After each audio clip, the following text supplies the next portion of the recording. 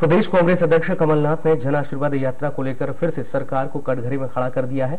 उन्होंने कहा कि मुख्यमंत्री की यात्रा में पब्लिक फंड का दुरुपयोग किया जा रहा है। प्रदेश की बीजेपी सरकार ये गलत परंपरा लागू कर रही है। उन्होंने आरोप लगाकर बीजेपी लगातार यात्राएँ निकाल कर प्रदेश की जनता को गुमराह कर रही है। इस तरह की बातें कही है। तो कमलनाथ ने एक बार फिर से सरकार को कटघरे में खड़ा किया है। क्या वो चाहते हैं उनको शाबाशी दे? जब ये हालात प्रदेश में हैं, जहाँ महिलाएँ मुंडन करा रही हैं, बलात्कार हो रहा है, आत्महत्या हो रही है, और शिवराज सिंह इससे दुखी है कि कांग्रेस उनकी आलोचना कर रही है। हम ज़रूर आलोचना करेंगे।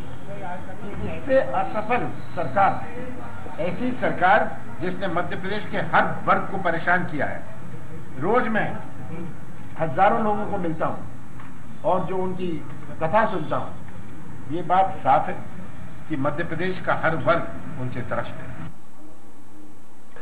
मध्य प्रदेश में जन आशीर्वाद यात्रा के समानांतर पोल खोल जन जागरण यात्रा निकाल रहे जीतू पटवारी प्रदेश कांग्रेस दफ्तर पहुँचे। पटवारी ने प्रदेश कांग्रेस अध्यक्ष कमलनाथ को यात्रा के दौरान अब तक के मिले फीडबैक की जानकारी दी। पीसीसी के कार्यकारी अध्यक्ष जीतू पटवारी ने कहा कि बीजेपी की आशीर्वाद यात्रा उनकी विदाई यात्रा साबित होगी। मुख्यमंत्री को आशीर्वाद ज़रूर मिल रहा है। और बहुत ताकत से मिल रहा है। बड़े स्वागत सम्मान से मिल रहा है। अधिकारी, कर्मचारी सब स्वागत उनको आशीर्वाद दिलवाने में भी लग गए हैं। पर उनकी विदाई का आशीर्वाद मिल रहा है। उनके मुख्यमंत्री काल के अंतिम दो महीने जब तक चुनाव नहीं हो, उसके बचे हैं, उसका आशीर्वाद मिल रहा है।